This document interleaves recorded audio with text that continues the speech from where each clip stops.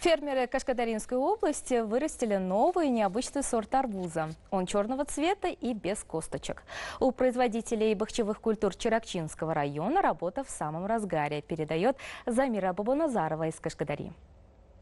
Маленькая черная ягода необычного арбуза с ярко-красной и сочной мякотью, совсем лишена косточек внутри. Это новый сорт арбуза стайл, выведенный фермерами по рекомендациям российских покупателей. На багарных землях семена арбузов были засеяны под пленку. Арбузы, выращенные в теплицах, уже в мае отправлены на экспорт. Экологически чистый и очень полезный для здоровья продукт отличается своим вкусом. Надо сказать, что здесь совершенно не используют никаких минеральных удобрений. Земля климатические условия и вода Кугдали идеальны для выращивания арбузов. Но главная заслуга, конечно же, принадлежит людям, которые трудятся не покладая рук. Следует отметить, что для экспорта бахчевых культур созданы все условия. К примеру, погрузка и таможенное оформление товаров осуществляется в удобном для экспортеров месте в любое время суток и в режиме онлайн. В прошлом году чиракчинцы посеяли арбузы на площади в 14 тысяч гектаров. В нынешнем году эта территория расширена в разы разы. Работы начались раньше обычного. В нынешнем году бахчеводы Чиракчинского района планируют получить и поставить на рынок урожай свыше 300 тысяч тонн арбузов и дынь.